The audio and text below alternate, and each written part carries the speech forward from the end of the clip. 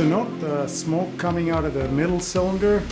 I pulled out the spark plugs and I see smoke coming in through there. That could be a good or bad sign. Uh, looks like a bad sign. I have to do a compression test on these cylinders to make sure they're good. I, it may be that the middle cylinder might have blown and that's why I'm getting a lot of, uh, you know, oil smoke through there. I'm not sure what that is. Maybe it's the oil I put in there that's burning, but it's kind of unusual because the middle hole, this one's the only one that does have the smoke. The other two don't. So I'm going to have to do a compression test to make sure that the cylinder is good. That's why I can't maintain an idle. If the cylinder is bad, my engine's going to die before it gets to the idle. So I'm going to have to get the uh, compression gauge and do a, a cylinder compression check. I'm actually going to do a compression test on the cylinders. For that you need a compression gauge which I have here. I hooked it up to cylinder number one. You pull out the spark plugs and hook it up to cylinder number one. And the next thing I have to do is tie something onto the uh, throttle here. The throttle is what gives the gas you have to tie it off. You have to make sure the carburetors are completely open. So I gotta, the throttle is what increases speed and decreases speed.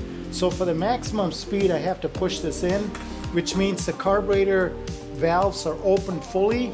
For the compression test to work right, you have to make sure that this is open fully. So I'm gonna have to tie this up um, over here. I'm gonna do that and show it to you next. Note that I used a clamp here. There's a clamp here holding the throttle in the full open position. And this, you can only do this for a snowmobile, not for any other vehicle, because the snowmobile uh, speed is operated with your thumb, with your right thumb, you push it back and forth. So this has to be fully open and I used a clamp to clamp it right to the handlebar. And that's the first step in doing the compression test. You need to do this and then hook up the compression gauge to the first cylinder. Test for cylinder number one.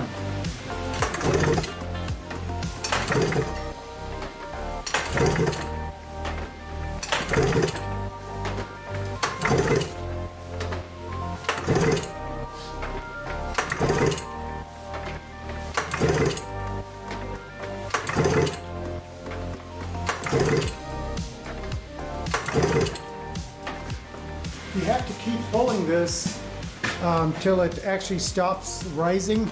So right now it's at 90 psi, which is the cylinder compression for this first cylinder. So I'm going to release the pressure and hook this up to the next cylinder right now. So I'm going to release the pressure. Then I'm going to hook it up to cylinder 2. Now this is the cylinder I said might have some issues. Let's see what the reading on this one is once I get this tightened down. If it is bad, I will need an engine rebuild to bring this engine back to normal, which will be expensive. This is cylinder number two test.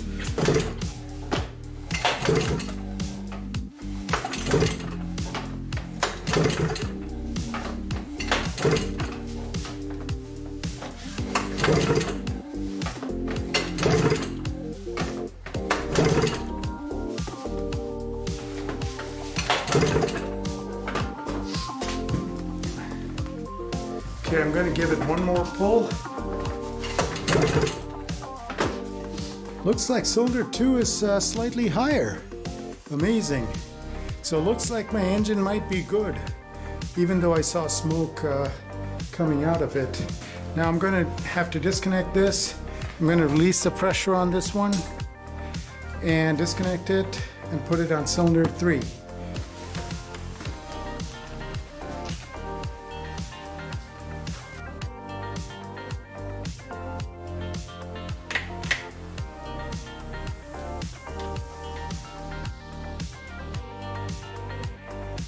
Well, this one also has to come close to 90. You want the cylinders to actually show close to each other in pressures. Now I'm going to pull this one too. And you have to do this till the, till the cylinder stops rising.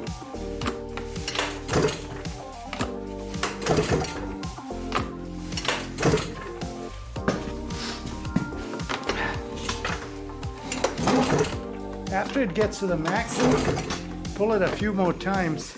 It's a little over 90 it looks like. So that's good. All three cylinders around 90 psi. It should be between a 90 and 100. So I think this this engine is still good to go. This is good news. I'm gonna remove the little clamp on the throttle. If you don't do this, you won't get the right uh, compression readings. You always have to open up the throttle.